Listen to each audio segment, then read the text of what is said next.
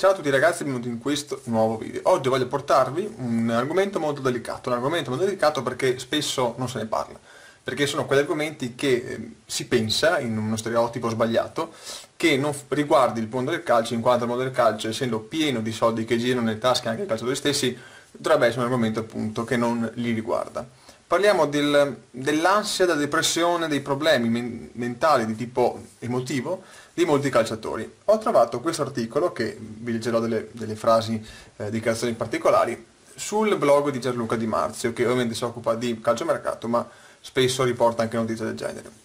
Intanto ho avuto una bellissima idea di Marzio di portare una cosa del genere perché appunto perché viene, se ne parla poco, è giusto anche dar voce eh, ai calciatori e dar voce a questo fenomeno. E vi leggo quello che è l'intestazione del ti titolo, insomma, del, del, che poi darà anche il nome al titolo del mio video, di questo articolo. Non ce la faccio più, mi vergogno uscire di casa. Mertesacker, Andre Gomez, le verità dei calciatori che non vivono un sogno. Le verità dei calciatori che non vivono un sogno è il titolo di questo video, perché credo che la frase sia molto, eh, molto, be molto bella, molto, fatta molto bene. Di cosa parliamo? Parliamo di due calciatori, sono dichiarazioni di due calciatori, ma ciò non riguarda solo loro, riguarda sicuramente altri che non sono felici di quella che è la loro vita, professionale prima di tutto, ma ovviamente sappiamo che quando c'è la vita professionale di mezzo, anche la vita in generale, insomma non è che se uno non è felice del proprio lavoro, ovviamente è una persona anche non felice nella totalità della sua vita. E sembrerebbe strano perché uno pensa che il calciatore sia un privilegiato, e per certi versi lo è, ma non è detto che ciò sia effettivamente la verità. Parliamo di privilegiati perché nel nostro immaginario chi guadagna di più per forza sta meglio di noi, è più felice di noi non è detto che tutte le persone che guadagnano da, dal nostro, insomma, nostro stipendio in su siano per forza di cose, appunto, come dire, eh, felici più di noi. Ci sono tanti, tanti esempi, purtroppo la crisi che nel 2008 è iniziata anche a invadere l'Italia è una crisi che ha portato al suicidio, quindi a atti molto estremi anche per persone che non sono magari operai o comunque persone che prendono stipendio normale, ma anche imprenditori, persone con grandi responsabilità, quindi anche magari che hanno più soldi in tasca rispetto magari a un operaio, ma anche con più responsabilità, e tante altre persone che hanno fatto gesti estremi che uno non si spiega perché, perché chiaramente uno pensa che una persona di una certa posizione sociale sia per forza più felice di magari una che è una strazione sociale più bassa. E purtroppo non è così, e anche per i calciatori non è così. Una statistica che trovate appunto in questa in questo articolo dice che un calciatore su tre, uno su tre ragazzi, è, una, è veramente una, una, frazione molto, molto importante, soffre di ansia e addirittura depressione, ansia quindi anche proprio nel gestire le emozioni prima del partito e così via, quindi un'ansia, non l'ansia che, avete, che abbiamo noi quando magari abbiamo so, un esame da dare, un'ansia proprio continua, tutti i giorni allenarsi con un peso addosso e fare la partita con un peso addosso quell'asse che magari porta magari a problemi di stomaco a certe persone, molti registrano così, pensate a un giocatore che deve comunque rendere anche a fisico e quindi magari i problemi fisici causati dalla testa in realtà sono molto molto gravosi. Uno su tre, eh, percentuale altissima, ma gli esempi sono tanti. Qua parliamo di Andrea Gomez e Mertesacker, ma ricordiamoci Buffon, che ha dichiarato recentemente che appunto lui ha sofferto per anni di depressione. Voi pensate, perché depressione Buffon? Buffon è uno dei calciatori più pagati in Serie A, sicuramente uno di quelli più pagati di sempre, di quelli italiani, però anche lui ha sofferto di depressione. Adesso è guarito, ci è passato, però chiaramente si è sofferto. Paradossalmente le percentuali fossero più alte delle 7 percentuali dei, dei, depressi, di coloro che sono, soffrono in questo modo, magari tra di noi, gente comune, operai, chi magari è impiegato e così via. Perché? Perché evidentemente, come detto prima, non c'entra cioè, in quale eh, parte del sociale tu, tu, risieda. È un discorso un po' diverso. Volevo fare un ragionamento prima di poi leggere le dichiarazioni nello specifico e capire un po' quello che è il malumore di questi due giocatori qua. E, ehm, quando parliamo di povertà, insomma, nel nostro paese si fa un riferimento a certi parametri. Ma chiaramente la nostra povertà, per chi magari vive in terzo mondo, in Africa, la nostra povertà per loro sarebbe ricchezza, perché chiaramente anche se avessero anche solo un po' delle nostre difficoltà, starebbero comunque meglio di quanti in realtà stanno. Però ovviamente nostra, le nostre difficoltà vengono viste da noi dal nostro punto di vista di personaggi, cittadini del primo mondo, come un peso gravoso per chi magari tra di voi qualche problema economico e così via. Sicuramente per un africano del, di qualunque paese del, del, dell'Africa subsahariana vedrebbe le nostre difficoltà come qualcosa di probabilmente anche insomma, una roba da poco, invece per noi non è così. Ecco che i punti di vista sono diversi. Per un calciatore anche il fatto di avere un certo livello eh, insomma, di, di, tenore di vita non per forza deve essere associato a una felicità mh, per forza di cose è collegata. È una cosa eh, un po' particolare, forse un po' filosofica da, da capire, in realtà eh, la psiche e le emozioni delle persone non sono in qualche modo quantificabili e qualificabili e quindi è anche difficile capire entrare nella testa di un calciatore perché non lo siamo, non siamo sicuramente delle persone con un tenore di vita molto simile, magari anche con lavori diversi, ma con tenori di vita molto simili, cosa che è molto difficile visto che comunque il calciatore è veramente un, un, uno dei lavori più pagati. Adesso leggiamo un po' quello che dice Mertesacker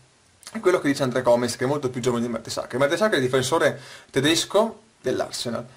e dice questo. E parla del 2006 dei mondiali, quindi una partita che è arrivata in semifinale contro di noi, tra l'altro. Quando nel 2006 la Germania ha perso i mondiali contro l'Italia ero sollevato. Cioè, un tedesco che dice che è sollevato, quindi felice che l'Italia sia uscita.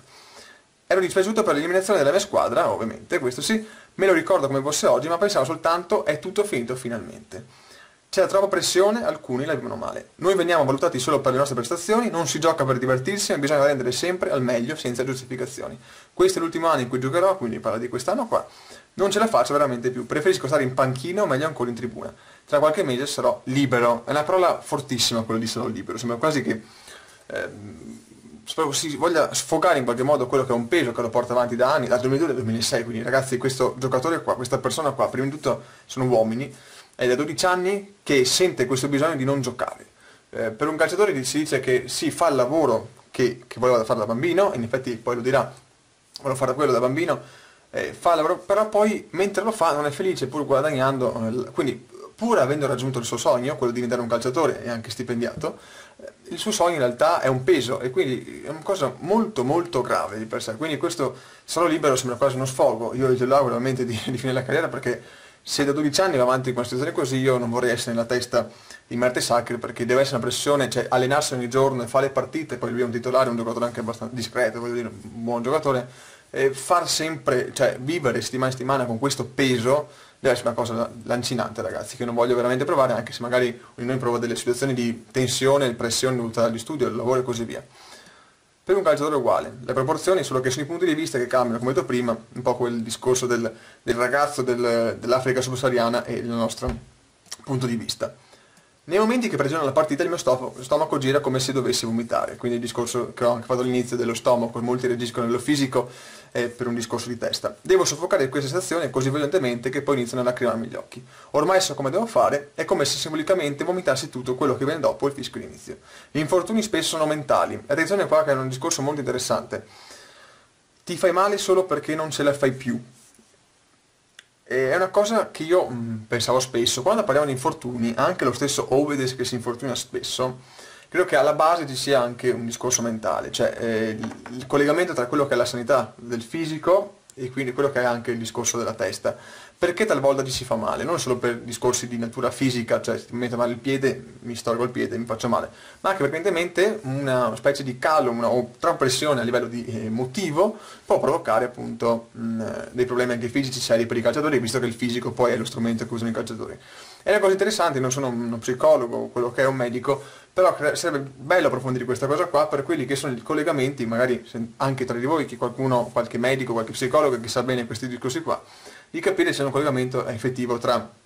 la, la, la, sanità mentale dire, e quella fisica. Talvolta anche noi appunto reagiamo a livello fisico un nostro stress, cioè quando magari avete mal di pancia, mal di stomaco perché avete un esame da affrontare, siete di tensione, il vostro stomaco e la vostra pasta benissimo, ma la testa dice che evidentemente c'è qualcosa che non va, non perché abbiate un, virus o peso freddo, ma semplicemente perché la vostra testa è sotto pressione, scarica e sfoga sul corpo. Ecco, questo è un po' quello che mi sono fatto l'idea io.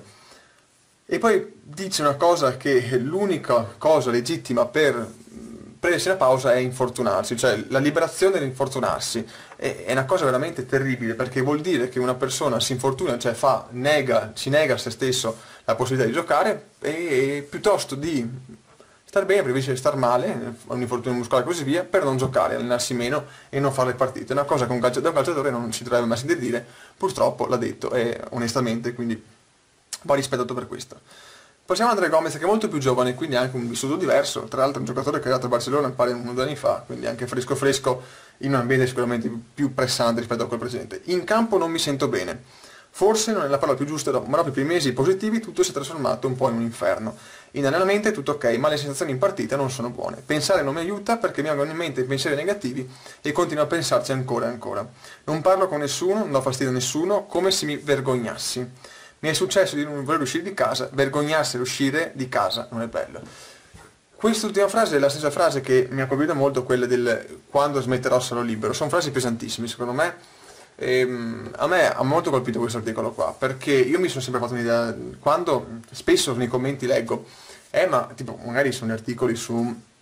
sul un lutto dei calciatori piuttosto che un calciatore che dice sono stressato, sono stato depresso e così via, o anche un VIP, no? E io credo che ci sia a volte un po' per ignoranza, molta mancanza di rispetto verso questi personaggi e nei commenti talvolta leggo, eh ma con i soldi che prendi dovresti essere felice. È un discorso che rimando all'inizio, è un discorso molto delicato, innanzitutto che non va banalizzato solo perché prendono più di noi, cioè nel senso che se io dovessi essere, io magari, non so, mettiamo caso, noi prendiamo 1000 euro al mese, quanto prendono al mese? Adesso non so all'anno, loro fanno il conto all'anno, però magari loro al mese prendono 500.000 euro. Io dovrei essere, secondo questa logica, un cinquecentesimo della felicità che in realtà ha, ha il calciatore. Diciamo che dovrei praticamente essere, praticamente tentare il suicidio se il mio, il mio, valore economico fosse correlato in qualche modo a quello emotivo e quindi correlato a quello del calciatore. Invece non è così ragazzi, come detto prima, i punti di vista, ci sono tante cose a tenere in ballo, è un discorso delicato da non banalizzare, da non stereotipare, Pertanto i commenti alla volta che leggo veramente sono di una